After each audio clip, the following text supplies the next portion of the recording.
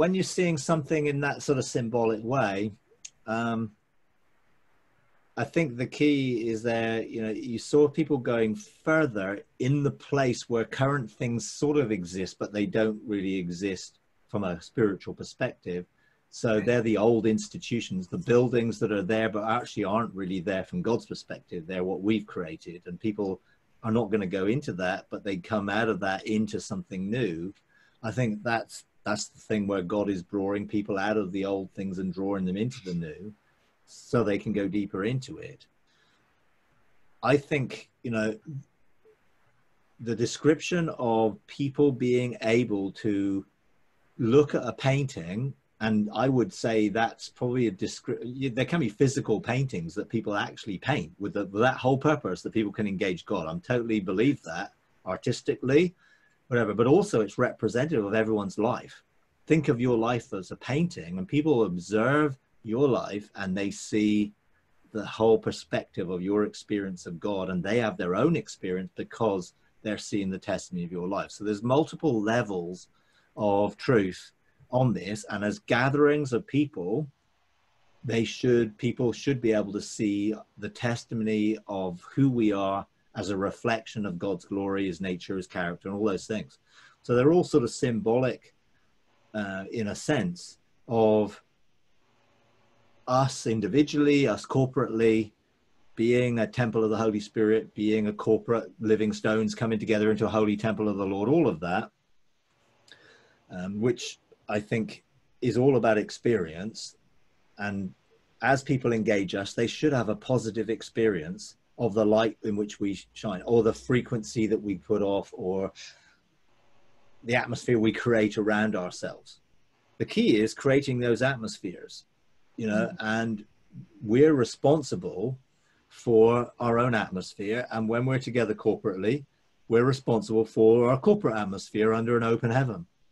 So it's important that we frame that out of our relationship with God and testimony, not out of structure or form, which is a again a formula or a pattern that dictates how people can engage God because we've now formalized it. Well, we're going to, and you can do. I mean, you literally, if if we started have a move of God where people started to look at art and started to have encounters with God in heaven, I guarantee that you'll have churches who start putting paintings up in their meetings and just get people to look at them.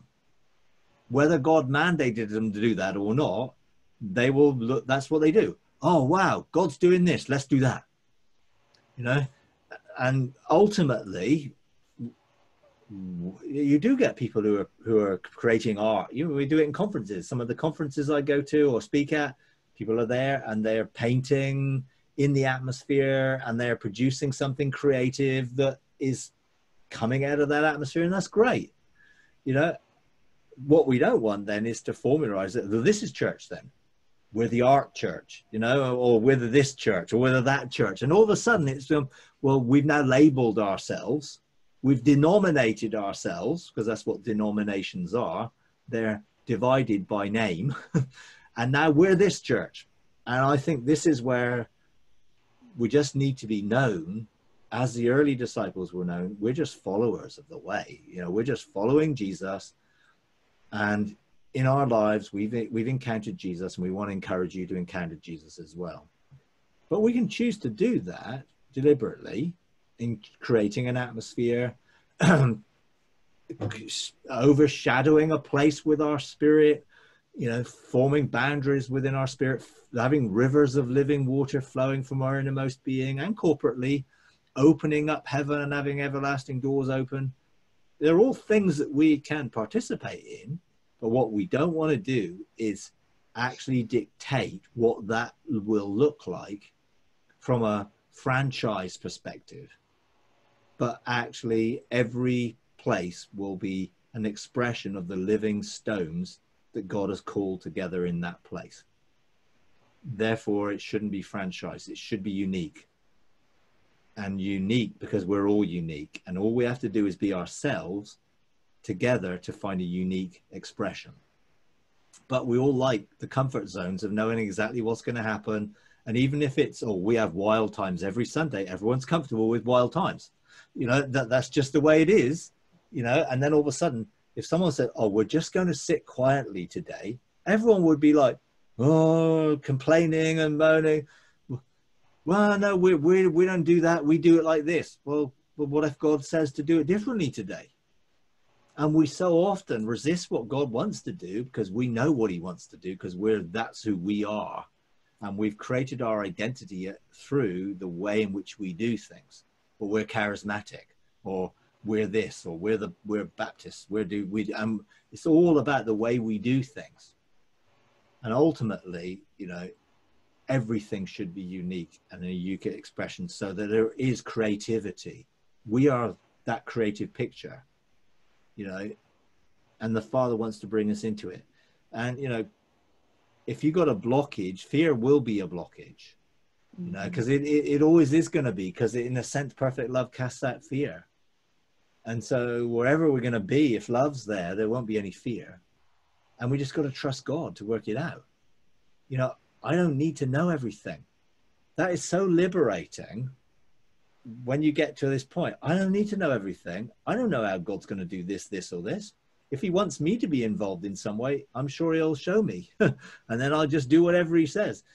But I trust him, you know, and that means I don't have to control things or I don't have to be prescriptive about things. We can just be and enjoy being, and God will do that, what he needs to do and he's quite capable of directing us if he wants us to do something. But when he does, then let's not turn it into another formula. And that's the problem that we have. There are so many formulas created out of something that God asked something someone to do, but now that's all they do because that's what God said to them then, and they've never moved from it. Hence, we have all these denominations based on things that God did hundreds of years ago rather than what he's doing today. And as soon as you try and change those things, they resist the change because God told us to do it this way. And he may have done for a season, but I'm sure he doesn't want them to be doing the same thing 300 years later.